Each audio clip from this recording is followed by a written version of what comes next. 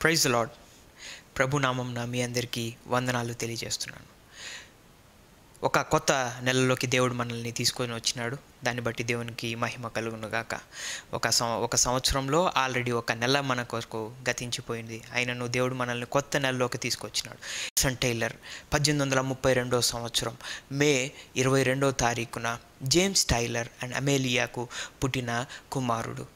James Hudson tailor తన చిన్ననాటి నుండే వాళ్ళ నాన్న ఒక ఫార్మసిస్ట్ కనుక తన నాన్న దగ్గర నుంచి చాలా విషయాలు తెలుసుకుంటూ ఉండేవాడు. వాళ్ళ తల్లి పెంపకంలో కూడా దైవభక్తి కలిగిన ఒక మెథడిస్ట్ బ్యాక్గ్రౌండ్ కలిగిన వ్యక్తిగా జేమ్స్ హడ్సన్ టైలర్ మనకు కనపడతాడు. తన చిన్ననాటి నుంచే తన చదువుల్లో అనేక విషయాల్లో చురుగ్గా ఉన్నాడు. ఈ జేమ్స్ హడ్సన్ టైలర్ పద్దెనిమిది వందల ముప్పై రెండో సంవత్సరంలో పుట్టి పద్దెనిమిది వందల నలభై తొమ్మిదవ సంవత్సరం లోపలే ఆయన పదిహేడేళ్ళ వయసు వచ్చినప్పుడు ఆ సమయంలో ఒక కరపత్రాన్ని చదవడం ద్వారా ఆ కరపత్రం పేరు ద పూర్ రిచర్డ్. ఆ కరపత్రం చదవడం ద్వారా తనను తాను ఏసఐకు సమర్పించుకున్నాడు. ఏసఐయే నిజమైన రక్షకుడని ఆయన దేవుడని ఆయన గురించి అనేక మందికి ప్రకటించాలి అని ఒక దృఢ నిశ్చయం కలిగిన వ్యక్తిగా జేమ్స్ హాట్సన్ టైలర్ మనకు కనపడతాడు. తను బాప్తిస్మం తీసుకోవడానికి కూడా ఎంతగానో ఆశపడి ఉన్నాడు. పదిహేడు సంవత్సరంలో ఒక చిన్న కుర్రవాడు బాప్తిస్మం తీసుకోవడానికి అలాగే వాళ్ళ సిస్టర్ని కూడా బాప్తిస్మం తీసుకోవడానికి కన్విన్స్ చేసిన వ్యక్తి James Hudson Taylor James Hudson Taylor పద్దెనిమిది వందల యాభై మూడో సంవత్సరంలో చైనాకు ఎట్టి పరిస్థితుల్లో వెళ్ళాలని సెప్టెంబర్ తొమ్మిదో తారీఖున నిశ్చయించుకొని సెప్టెంబర్ తొమ్మిదిన ఆరంభించిన ఆ ప్రయాణం మార్చి ఒకటో తారీఖు పద్దెనిమిది వందల యాభై నాలుగో సంవత్సరం మార్చి ఒకటో తారీఖున జేమ్స్ హడ్సన్ టైలర్ చైనా గడ్డ మీద అడుగుపెట్టాడు. ఒక గొప్ప సువార్త విప్లవానికి నాంది అంకురార్పణ అక్కడ జరిగి ఉన్నది. జేమ్స్ హడ్సన్ టైలర్ ఒక సాదా సీదా వ్యక్తిగా తన పరిచర్యను మొదలుపెట్టాడు. అక్కడున్న ప్రజలందరికీ ఏసఐ యొక్క ప్రేమను చెప్పాలని ఆయన గురించి తెలియచేయాలని ఎంతగానో ఆశపడ్డాడు. అను దినము ఆయన ప్రతి ఒక్కరికి అతనికి తెలిసిన మెడికల్ స్కిల్స్ ద్వారా అనేక మందికి వైద్యపరమైన సేవలు అందిస్తూ ఏసఐ ప్రేమను చెప్పడం మొదలుపెట్టాడు. అయినను ఆయన సఫలీకృతుడు కాలేకపోయాడు. బట్ పద్దెనిమిది సువార్త దండయాత్రలు చేశాడు. షాంఘై చుట్టుప్రక్క ప్రాంతాలన్నింటిలో పద్దెనిమిది సువార్త దండయాత్రలు జరిపిన జనం ఎక్కువ మంది అతని దగ్గరికి రావడం కానీ స్పందించడం కానీ లేదు.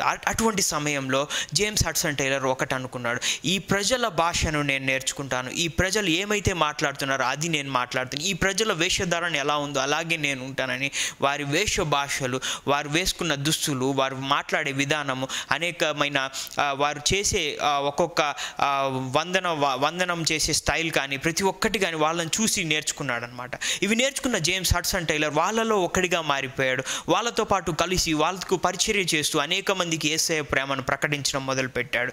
జేమ్స్ హడ్సన్ టైలర్ తను ఇదే సమయంలో వివాహం చేసుకోవడం జరిగింది. తన వివాహం సమయంలో కూడా వాళ్ళ భార్య ఎంతగానో తనకు సహాయం చేసింది పరిచర్య విషయంలో ఎంతగానో సహాయం చేసింది. జేమ్స్ హడ్సన్ టైలర్ అక్కడ ఉన్న ప్రజల వేషభాషలు నేర్చుకొని మ్యాండరిన్ ఇంకా అనేకమైన డైలెక్ట్స్ నేర్చుకున్నాడు చైనీస్ డైలెక్ట్స్ అన్ని నేర్చుకున్నాడు. అనేక మందితో మ్యాండరిన్ లాంగ్వేజ్లోనే మాట్లాడడం మొదలుపెట్టాడు.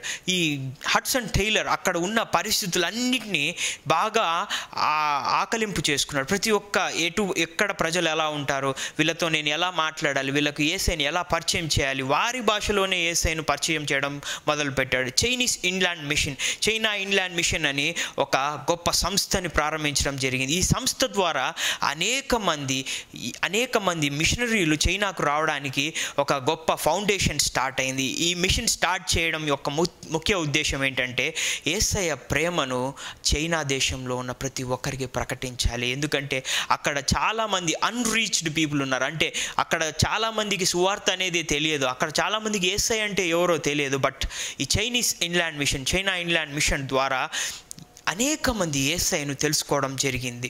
అంతేకాదు నూట ఇరవై ఐదుకు వరకు స్కూల్స్ ఓపెన్ చేయడం జరిగింది. పద్దెనిమిది వేల మంది చైనీస్ ప్రజలు ఏసైను తమ సొంత రక్షకుడిగా అంగీకరించాడు ఇంతేకాదు ఎనిమిది వందల మంది మిషనరీస్ చైనాలో అడుగు పెట్టడానికి ఈ సంస్థ ఎంతగానో కృషి చేసింది. అంతేకాదు ఒక చైనాలోనే యాభై ఒక్క సంవత్సరాలు పరిచయం చేశాడు మన జేమ్స్ హడ్సన్ టైలర్. అటువంటి సమయంలో ఆయన తన ఒక చిన్న బాబు హన్బన్ అతని పేరు అతన్ని దత్తక తీసుకొని తన సొంత కుమారుడిగా పెంచుకుంటున్నాడు. అక్కడే చైనాలో పుట్టిన పిల్లవాడిని. ఇలా జేమ్స్ హడ్సన్ టైలర్ తన జీవితంలో ప్రతి ఒక్క స్టెప్లో ఏసైను ప్రకటించడానికి ఏసై గురించి చెప్పడానికి ఏసైను అనేక మందిని పరిచయం చేయడానికి అనేక మందికి సువార్త అంటే ఏంటో ఆయన ప్రేమ అంటే ఏంటో తెలుసుకోవడానికి తెలిపి తెలియజేయడానికి చేయడానికి ఎంతగానో ప్రయాసపడిన వ్యక్తి.